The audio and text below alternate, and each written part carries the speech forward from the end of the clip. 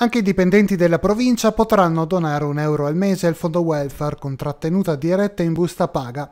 Dopo l'accordo con le associazioni di categoria per applicare contributo su base volontaria nelle aziende, anche chi ha costruito insieme ai sindacati il fondo stesso, ovvero Palazzo Piloni, sblocca questa possibilità per i propri lavoratori.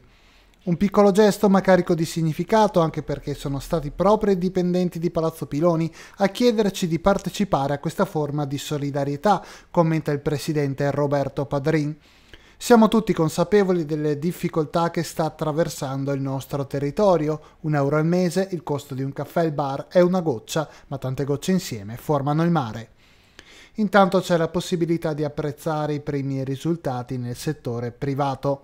A poche settimane dalla firma dell'accordo con le associazioni di categoria sono già diverse le adesioni dei lavoratori dell'industria, commenta la presidente del Fondo Welfare Francesca De Biasi.